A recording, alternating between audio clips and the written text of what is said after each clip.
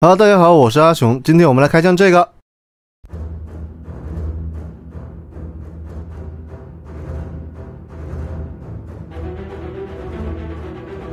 这款由 Costa Toys 推出的巨人，我可是等了太久了。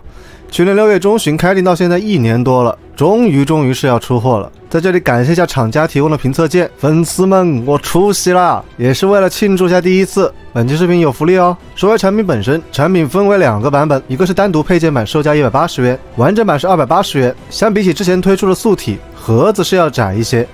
产品内容物比较简单，使用了单层吸塑包装。相比之前的素体配件有些改动，本体上手感觉比较扎实，头掉第一眼感觉还是很不错的。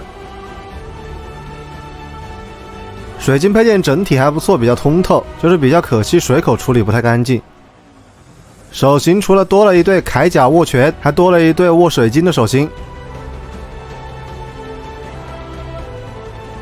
这款与之前的素体身形上唯一的差别就是胸部不同，巨人的脖子与上半身是一体的，肩部肌肉过渡也更加自然，整个上胸的观感上来的更饱满。但是也是为了美型度，蝴蝶关节前后可动被砍掉了一些。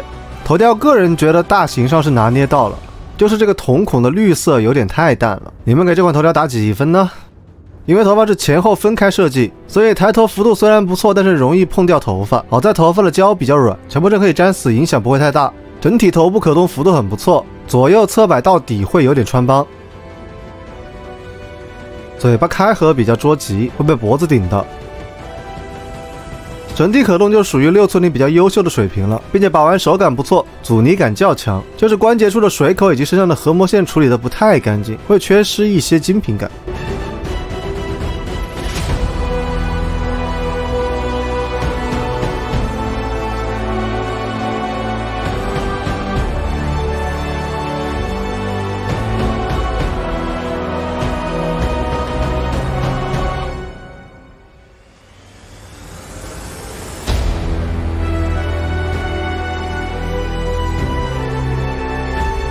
最后来总结一下这款吧，这款最近临近出货，我这边又是稀稀拉拉订出去一些。毕竟现在 V Toys 的素体价格已经涨上去了，而且他们家这款素体是真的很不错。剧院的头雕个人觉得做的还行，就是比较可惜张嘴幅度有限，在一些大张力 pose 时嘴巴只能微张，就总觉得少点味儿了。